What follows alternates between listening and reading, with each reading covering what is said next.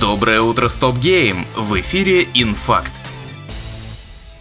10 октября серии Fallout стукнет без малого четверть века. Только представьте, первый Fallout вышел аж 25 лет назад. Вот вам лишний повод почувствовать себя старым. В честь знаменательной даты Bethesda собирается до конца месяца одаривать фанатов франшизы приятными плюшками. Начиная с 4 октября и по 11 число можно будет бесплатно играть в Fallout 76. С 4 по 18 в игре состоится ивент со вторжением инопланетян. С 3 октября по 1 ноября Fallout 76 будут бесплатно раздавать подписчикам Prime Gaming в Windows Store. С 4 октября по 2 ноября состоится серия розыгрышей и распродаж предметов из клуба творчества для Fallout 4. Fallout Shelter получит свежий контент, включая новые задания, врагов, оружие, жителей и декорации для убежища. Но дата апдейта пока неизвестна. Это лишь часть того, что известно из расписания на первую неделю. Надеемся, что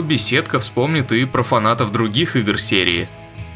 Сайт MP First пустил слух, что Sony занимается новой версией Horizon Zero Dawn, то есть либо это будет ремейк, либо ремастер. Издание VGC это подтверждает. По словам анонимного источника, переиздание игры для PlayStation 5 получит обновленную систему освещения, переработанные текстуры и улучшенные анимации, дабы оригинал смотрелся под стать сиквелу. Помимо этого, разработчики хотят добавить настройки доступности и несколько режимов графики. Изменения же по части части игрового процесса, если какие и будут, то по минималкам. А еще появилась пара новых деталей о мультиплеерной Horizon. Деталь номер один. Игру создают для ПК и PlayStation 5. Деталь номер два. Упор в ней делается на кооператив. Также некто слил в сеть внутренний документ Sony, в котором тоже были прописаны онлайновая Horizon и ремастер Zero Dawn. Кроме этого, в документе упоминается ПК-версия Returnal, недавно анонсированная Rise of Ronin и проект Ocean от Kojima Productions, вероятно тот самый сиквел Death Stranding. То есть, если верить сливу, первую Horizon действительно обновят, Кадзима действительно сотрудничает с Sony, а для Returnal действительно все еще делают ПК-порт. Несколько изданий сведения из слива подтвердили, а сам документ из сети быстро удалили.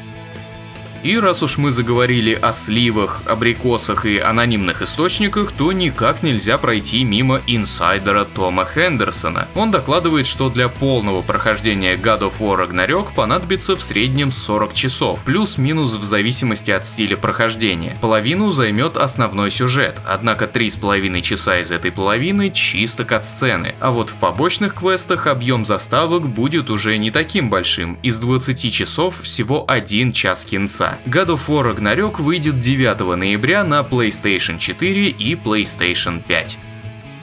Хоррор от студии Tequila Works под названием Guild в свое время стал доступен лишь в облачном сервисе Stadia, который все эти годы медленно умирал, пока мы наконец не узнали, что его создатели официально признали неудачу и начали сворачивать проект. Так вот, Guild ввиду этого фиаско собираются перенести и на другие платформы. По сюжету мы оказываемся в страшном меланхоличном мире, в котором кошмары воплощаются в жизнь. Главной героине предстоит бороться со злом вооруженным вооружившись фонариком, огнетушителем и умением играть в прятки. Когда и какие конкретно платформы игра посетит, пока неизвестно. Одним из самых сильных противников в Elden Ring является Моления. Победить ее не так-то просто, а играя за погасшего первого уровня и подавно. Но что если помимо этого в качестве контроллера использовать танцевальный коврик? Стримерша под ником Мисс Микка сумела забороть клинок Микелы спустя 553 попытки и 15 часов реального времени. Ранее стример Супер Луис 64 умудрился одолеть Годрика Старукова на клавиатуре из бананов, и Дарья Вилла при помощи обруча Ring Fit Adventure. Ох уж эти безумные стримеры.